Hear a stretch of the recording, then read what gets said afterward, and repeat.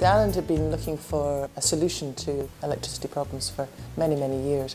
And before Eigg Electric came about, each house was independently powered by either a generator or a microhydro. It was very expensive, it was very dirty, noisy, and also it was very unreliable. You couldn't have 24-hour power until we finally came upon the idea of having a, a system which combined the three renewable sources of wind, sun and hydro. This system is unique in that it's the first time that the three renewables has been integrated into a grid. Transformers are also distributed along the grid which distribute the power to all the houses on the island.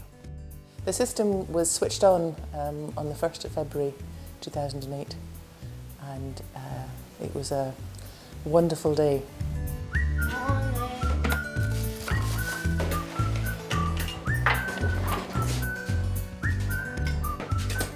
Is an hour meter and basically it me it tells us how much electricity we're using so that we can't use more than 5 kilowatts otherwise there's a trip switch which will cut out our electricity.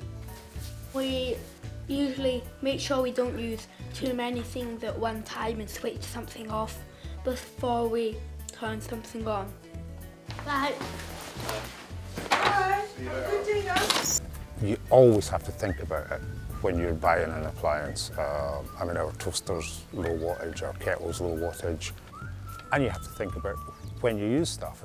It's in everybody's head, and the power's really very, very reliable nowadays.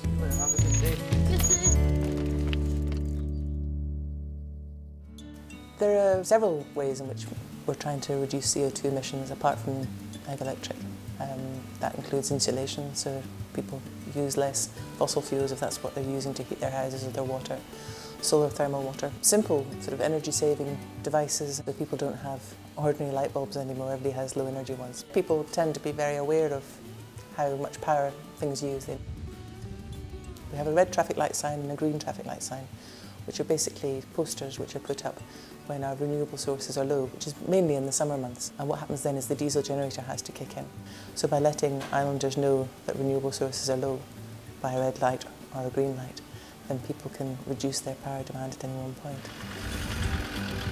Another example of how we're trying to reduce CO2 is trying to get people to use their cars differently. And one of the simplest ways was to encourage people to share lifts more often.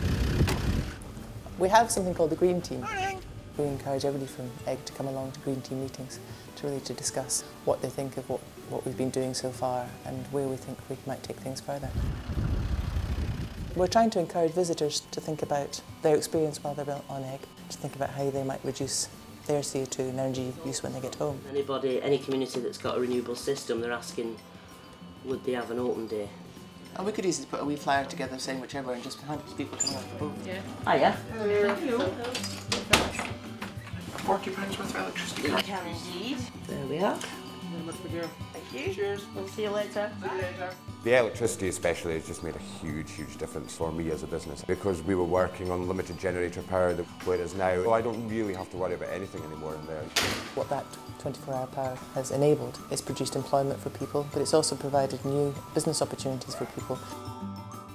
The original design of the scheme was intended to allow for 50% increase in domestic properties on the island. Well, this is uh, actually my son's house. Uh, he's just building this behind the polythene there. It's actually a straw bale construction and uh, slab insulation inside as well. And uh, again, high performance windows, and, and this will get a very high energy rating.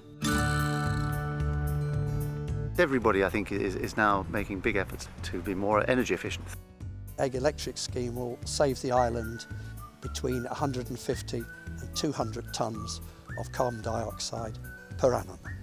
Technology plays its part and we wouldn't have the scheme that we have here were it not for technology. But the primary thing is the change in people's approach. A lot can be saved by behaviour change, by the choices that we make. When you live in a city, the infrastructure is already there for them to use, so it's in smaller communities where the population is so low that it is a bit harder to do. Eigg Electric and all that we've done in Eigg to reduce energy has been a, a community activity, but uh, any community can be an island. Um, a tower block, an office, a school, a street, a village.